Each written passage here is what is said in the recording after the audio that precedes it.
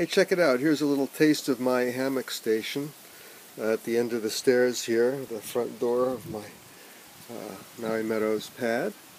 It's uh, Easter Sunday, 2013, and uh, everything is groovy here. So uh, I'll be seeing you later.